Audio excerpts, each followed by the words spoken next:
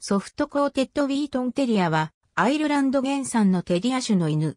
ジャパンケネルクラブに登録されている。正式名称は、アイリッシュソフトコーテッドウィートンテリアである。愛称はウィートン。被毛のバリエーションとして、トラディショナルアイリッシュ、ヘビーアイリッシュ、イングリッシュ、アメリカンがある。アレルギーなど、人間に対する刺激が少ない犬ではないかと考えられており、アレルギーや喘息を持った飼育者に注目されている。家畜の見張り、ガード、害獣の駆除など、様々な用途に使える犬として、アイルランドの農場で繁殖されていた。これが小動物の狩猟犬だった他のテリアと違い、ウィートンが攻撃的ではないと言われる理由であろう。ケリーブルーテリアとも関係があるとされている。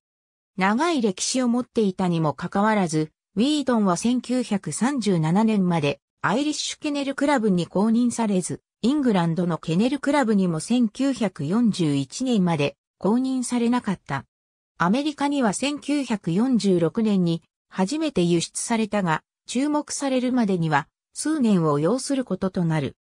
リディア・フォーゲルがアメリカにおける最初のブリーダーで1973年にアメリカンケネルクラブに公認された。体型はスクエアでがっしりしている。子犬の紐は、レッド、ブラウン、マホガニーなどの暗色かホワイトで混ぜると、耳はブラックかダークブラウンが多い。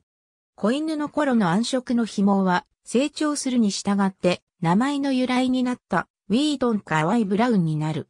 紐は人間やプードルの毛のように伸び続け、定期的なトリミングを必要とし、抜け毛は非常に少ない。紐のバリエーションの中では、アメリカン系よりもアイリッシュ系の方が細く、シルキーであるとされる。国によっては、断をされることもある。飲みアレルギー性皮膚炎、タンパク質吸収以上にかかりやすい。ありがとうございます。